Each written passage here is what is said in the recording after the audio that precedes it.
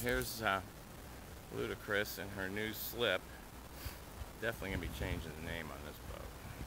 I'm over the whole Ludacris thing. Jack Sparrow flag.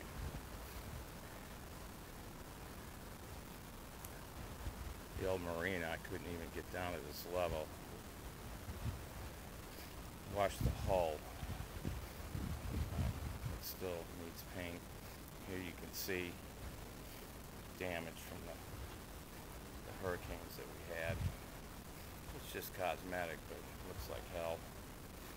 These are new windows that I rebuilt and put in. They turned out really good.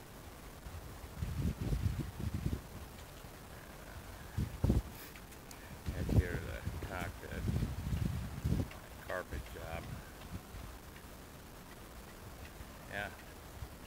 Really, really nice man. Really nice. Highway 17. Beautiful, beautiful day in Florida. High, mid to high 70s